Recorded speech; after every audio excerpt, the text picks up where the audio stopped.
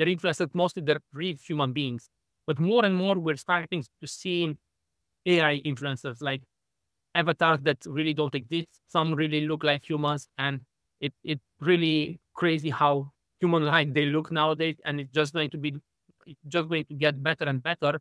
And especially as also social networks are going to go even more into tailoring content to you and um, mass customization, we we can definitely envision a, a place where you can have an um, uh, AI influencer that really just speaks to you, um, and that's going to um, also be crazy. Like I love living in these times with so much change because I, I like just to see how uh, the world evolves.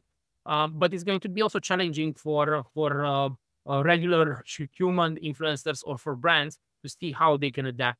Uh, we'll see how that will uh, play out. I think people, I don't think people will just love one or the other. It's going to be a mix. Um, but um, as with all the technology, we we need to embrace it because it will be here to stay, and we just need to learn how to use it and to uh, harness the power for for ourselves.